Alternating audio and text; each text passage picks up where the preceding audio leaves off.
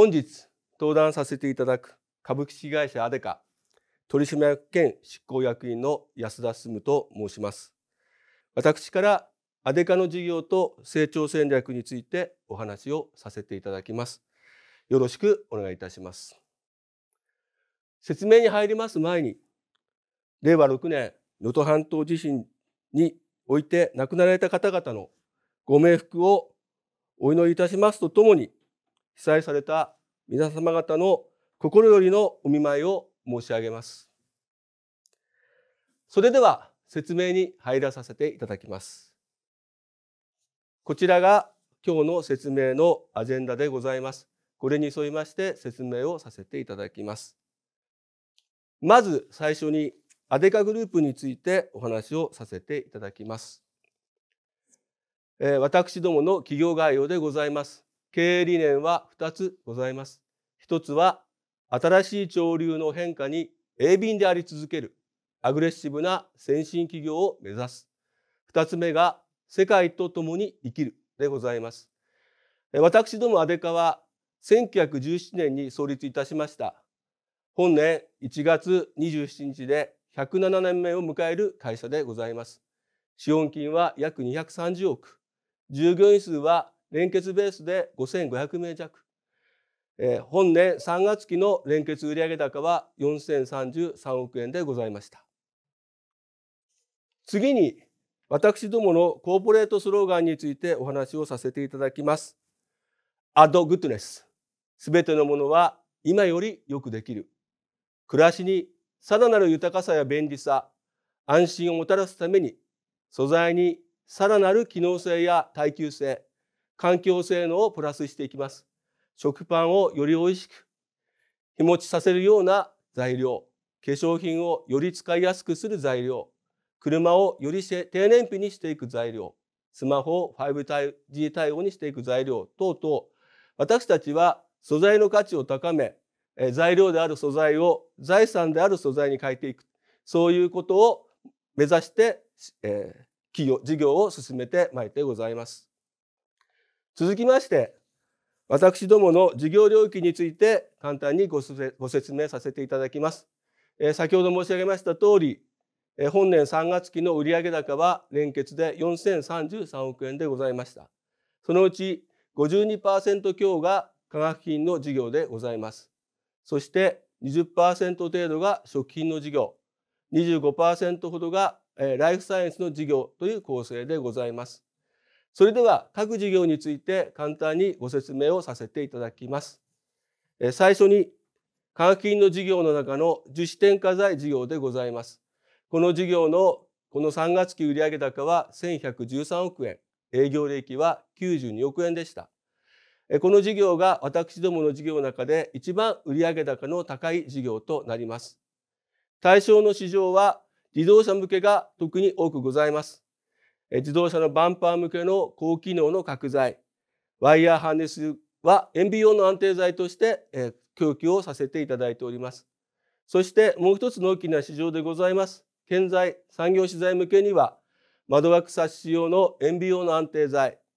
家電筐体向けの難燃剤、産業用フィルム向けの光安定剤等を提供させていただいてございます。私どもの樹脂添加剤事業の規模でございますが、プラスチック向けの樹脂添加剤では、大体世界の業界シェアナンバー2と、そういう位置づけでございます。そして昨今の環境ということをを中心とした、え樹脂添加剤の開発でございます。え私どもの樹脂添加剤は古くから鉛や重金属を使わない鉛やカドミウムといったですね重金属を使わない樹脂添加剤をやっておりますけどもここ数年のリサイクルプラスチックの普及促進そういうところに視点を置いて機能性を保持しながらリサイクル比率を2倍以上に上げていくそのようなアデカシクロエイドシリーズ等のですね環境に優しいプラスチックの添加剤を提供していってございます。続きまして、情報電子化学品の事業についてご説明いたします。こちらは売上高363億円と9%ほどでございますので、売上高比率は少し見劣りするかもしれませんが、営業利益は110億円と私どもが行っている事業の中で最も営業利益を叩き出している事業でございます。対象の市場は半導体、それからフラットパネルディスプレイ等のディスプレイの市場になります。まず半導体向けでございますが、DRAM、難度向け等のメモリーの高誘電材料、それからロジック向けの光酸発生剤等を提供させていただいております。でディスプレイ市場におきましては、フィルム接着向けの光硬化樹脂、カラーフィルター向けの光重合開始剤などを提供させていただいております。特にこの半導体における先端半導体メモリー向けの高誘電材料は世界シェア50%を超える、まあ、ナンバーワンの状況であると自負してございます。そしてもう一つ、昨年8月に、えー、千葉工場にですね EUV 向けの光酸発生剤の新しいプラントを稼働させてあ稼働させました。えー、ここら辺につきましては後ほど詳細な説明をさせていただきます。えー、次に、えー、化学品の事業の3つ目でございます。機能化学品の事業でございます。えー、こちらは売上高で640億、営業利益で59億ほどの、えー、事業でございます。対象市場は、えー、樹脂添加剤同様自動車向けがこちらがある意味多くございます。特に CMOS センサー用の超速効果レーザー用の接着剤それから車体フレーム用の構造用のエポキシ接着剤等を自動車メーカーさん向けに提供させていただいてございます。それからもう一つ、化粧品一般工業薬品でございます。こちらは化粧品メーカー様向けに化粧品の原料こちらを提供させていただいておりますし一方共用インフラ向けには塗料用の添加剤等を、えー、提供させていただいております。この機能化学品事業の中で、えー、最も、えー、特筆すべきところは自動車エンジンオイル向けの潤滑油の添加剤でございます。えー、こちらは国内の新車向けにはほぼ100%採用されている添加剤となってございます。また、えー、反応性乳化剤、こちらはえ、米国ヘリ向けの認証を2019年取得いたしました。こちらは反応性乳化剤としては世界で初めてというものでございます。非常に厳しい審査を通り、粘接着剤向けに提供させていただいております。続きまして、食品事業でございます。食品事業は825億ほどの売上でございましたが、残念ながら営業利益的には24億円の営業損失となってしまいました。こちらの対象市場は製菓製パン洋菓子デザート冷凍食品カップ麺レトルト食品と幅広く業務用向けに推しとして提供をさせていただいております。この事業につきましては事業構造改革と新しいプラントベースシリーズの注力するといったことを現在進めてございます。こちらについても後ほど詳細に説明をさせていただきます。続きまして、事業の最後になります、ライフサイエンス事業でございます。こちらは売上高1020億円、営業利益77億円ほどの事業でございます。この事業のほとんどは連結子会社でございます。日本農薬の事業となってございます。対象の市場は主に農薬向け、水筒用の殺虫剤、殺菌剤、それから園芸用の殺虫剤殺菌剤除草剤等でございます。その他に外用抗真菌剤および外用爪白線剤と医薬品向けの製品も提供をさせていただいてございます。このライフサイエンス事業の中のトピックスでございますが一つがスマート農業向けへの取り組みでございます。日本農薬ではレミーというものを標榜した AI 病害虫雑草診断を今進めてございます。こちらは病害虫雑草の写真を撮影していただいてこちらを送っていただくことによって AI がその状況を見て診断してそしてそれに有効な薬剤情報をフィードバックさせていただくとそういうような取り組みでございます。また日本農薬とアデカドシナジーとして新しい両者の技術をですね両者の得意技術を結集して新しい成果物を創出しようということに取り組んでございます。こちらは、えー、昨年、えー、抗生抗寄生虫剤ペットとかですね、え、それから家畜向けの抗寄生虫剤用の化合物を、えー、生成しそこで特許の公開をさせていただきました2030年に向けてこちらの方を進めていきたいというふうに考えてございます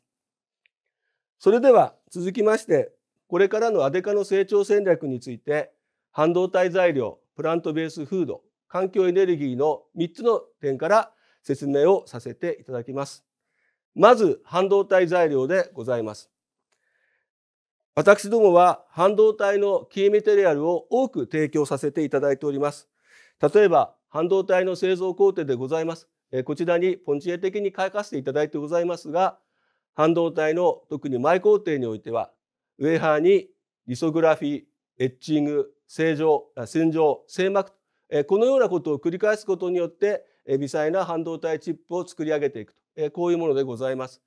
その前工程において私どもはまずリサグルフィー工程においては EUV、ARF などの紫外線波長に反応した超微細な回路パターンこちらを描くための材料としての光酸発生剤を多くのレジストメーカーの皆様に提供させていただいてございます。そして次のエッチング工程におきましては高純度のエッチングガスそしてその洗浄工程において高純度の過酸化水素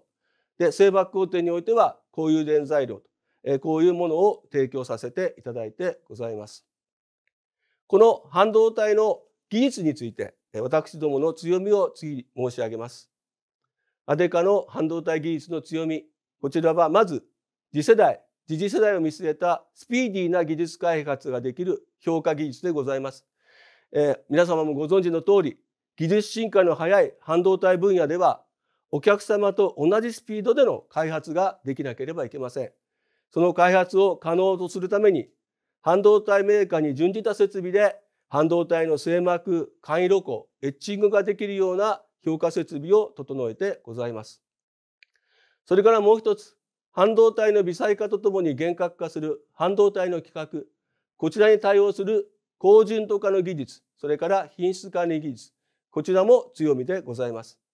素原料の不純物を私どもの独自のノウハウによって除去する高純度化の技術そしてそれがどの程度高純度化されているかを分析するための多様な元素の微量分析ができる不純物測定ができる分析。それからこの高純度の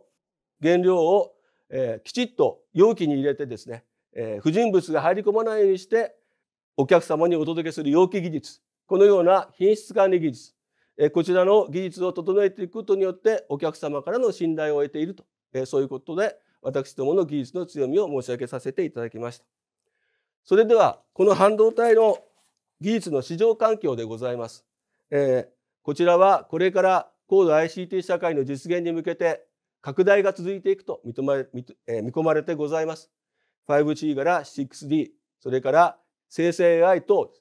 デバイスの進化通信技術の高度化そしてデータ容量の増大と一方半導体製造の技術革新としての微細化構造変化これらに対応して当社の先端半導体向けの材料は今後の市場において需要は大きく拡大していくものと私どもは見ております。ここにここ数年の事業拡大に向けた半導体関係の投資について記載させていただきました。生産の設備ではえ生産能力の増強新しいプラントの建設等特に日本台湾韓国において進めております一方研究開発においては韓国にあります私どもの連結子会社アテカコリアにおいて研究開発センターを拡大移転させておりますそして昨年11月ですが新しい研究所の建設を発表させていただきましたこの新研究棟は埼玉県の久喜地区に建設するものでございます。最先端の半導体材料を開発するための基幹研究所として建設を図ります。完工は2026年1月、投資金額は約100億でございます。延べ床面積が1万1000平米。そこにございますように開発の分野は現在私どもが強みとしております ALD 等の材料、それからパッケージ材料、そしてモビリティやエレクトロニクス向けの材料等幅広く情報電子科学品を中心とした開発研究所として建設し研究開発を加速させていきます。こちらに書かせていただいてます通り今私どもの強みと思っております前工程だけではなく後工程のプロセス材料例えば私どもの機動性樹脂等の研究開発が持っております風刺技術接合技術等も駆使しまして新たな研究を進めてまいる所存でございます。それでは続きまして食品事業について申し上げます。ここにお示ししてます通り食品事業につきましては2021年度2022年度と連続して営業損失となりました。今年度はここからの大幅な改善、そして新しい食品ロス対応製品やプラントベースフード等の新製品の販売販売拡大に注力してまいってございます。えー、生産の効率化、コストの削減、そして販売価格の改定等を進めることによって、売上高は今年度、昨年度同様830億ほどでございますが、営業利益は24億円の営業損失から24億円の営業利益へ、営業利益率3%へと業績を回復させる見込みでございます。この食品の事業でございますが、中長期的には、ここにお示ししてます通り、2030年度7%以上の営業利益率を目指す事業として進めてございます。既存の製パン製菓、洋菓子デザート市場はもとより、食品ロス対応製品の販売を伸ばしていく、そして海外へも展開していくことによって伸ばしていくとともに、新規の製品としてのプラントベースフード、デリプランツシリーズを国内海外向けに大きく伸ばしていこうと考えてございます。ここでお示ししたプラントベースフードについて食品事業の技術をの強みも含めてこれからお話をさせていただきます。90年以上の歴史で培いました食品事業の技術、基本となるフードセーフティの技術の上に輸出加工技術と美味しさを作り上げる創造する技術を兼ね備えた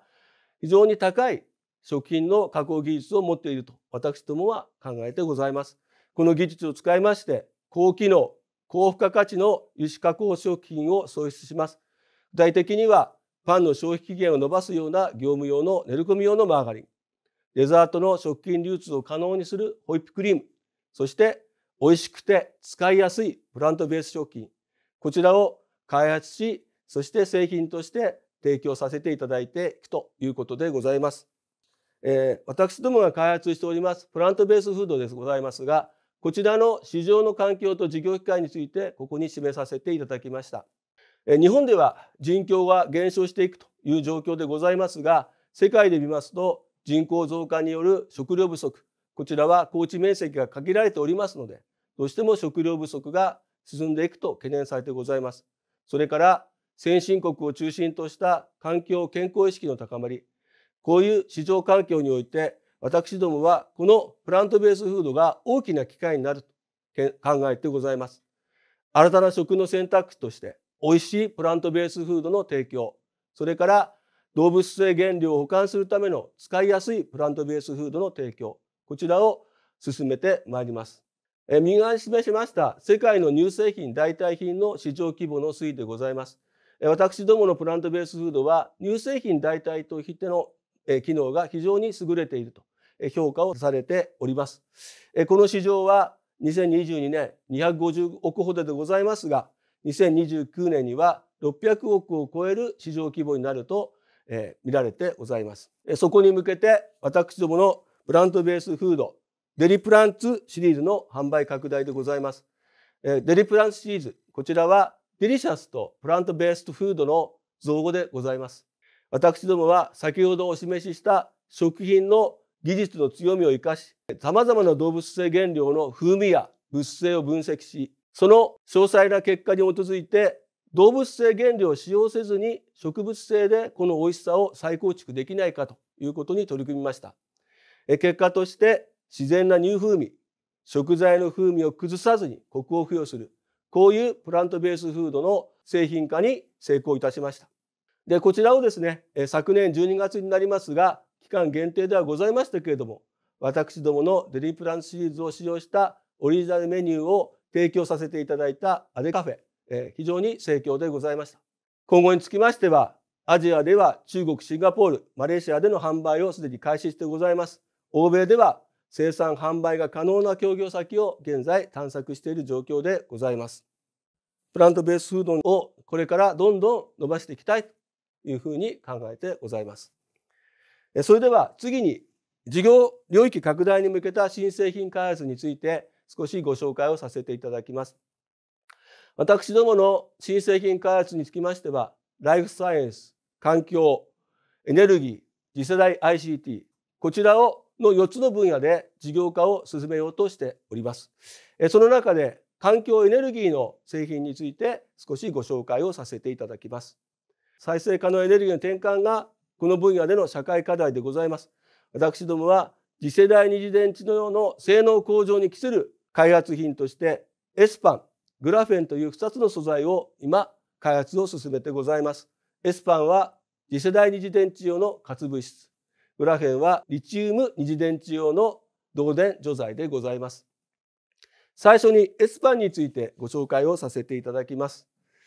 こちらは昨年でございますが、当社独自でテストセルで作りましたエスパン。こちらの重放電を評価していただくために、マイクロドローンにこのセルを乗せて実証を、試験を行いました。その結果ですけども、重量エネルギー密度が現行のリチウムバッテリーの約3倍、言い換えますと現行リチウムバッテリーの約3分の1の重量でこのエスパンを使うことでですねドローンを飛ばすことができるという状況を実証試験で結果として出させていただきました。航空分野ではこの軽量なものが求められてございます。こちらの実用化に向けてですね、鋭意開発品を作っていきたいと考えてございます。そしてまた軽さという意味で可能性を考えてみますと、災害用の非常電池、ポータブル化への促進、それから航続距離を伸ばすための次世代の EV 用のスパン等々様々な用途拡大ができるのではないかというふうに考えてございます。こちらの開発も鋭意加速させていきたいと考えてございます。それからもう一つ奇跡の素材というふうに世間で言われておりますグラフェンについてご紹介をさせていただきます。私どもアデカは以前から電池用途としてのグラフェンの開発を進めてございます。こちらのグラフェンは高品質で高生産性こういう特徴を持ってございますのでリチウムイオン電池用の導電素材としての活用が見込まれてございます。こちらリチウム電池のですね製造プロセスにおきまして環境対応ということがですね重要になってございます。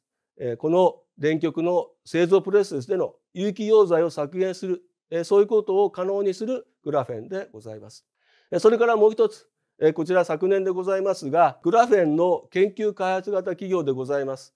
インキュベーションアライアンスという会社を子会社化いたしました。こちらの開発しているグラフェンは無基板、無触媒の直接合成で高純度なグラフェンを世界で初めて合成いたしました。こちらのグラフェンの用途は高い熱伝導、熱伝導の方向制御等ができるということから放熱部材など医療用の装置に活用できるのではないかということで鋭意開発を進めているところでございます。私どもは新しい価値を生むグラフェンメーカーとしての地位を今後確立していくために進めていきたいと考えてございます。最後に株主還元についてお話をさせていただきます。今年度の配当要請でございますが年間80円配当成功は39.1%を見通してございます。昨年度は、配当70円でした、こちらを今年度は10円増配し80円ということで、えー、予想させていただいてございます。す、で、に昨年12月、えー、中間配当40円を実施させていただきました。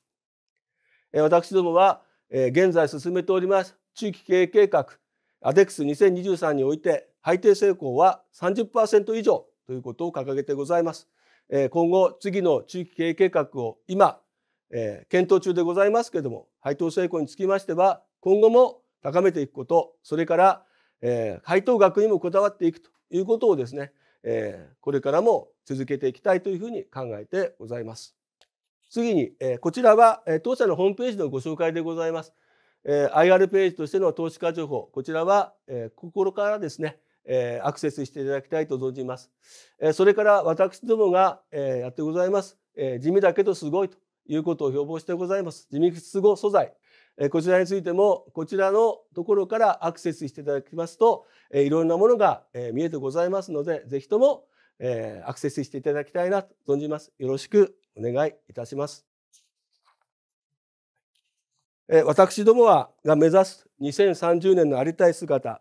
持続可能な社会と豊かな暮らしに貢献するイノベーティブカンパニーこちらに向けてこれからも邁進してまいりますのでどうぞ応援していただければと存じます。以上で私からの説明を終わらせていただきます。ご清聴どうもありがとうございました。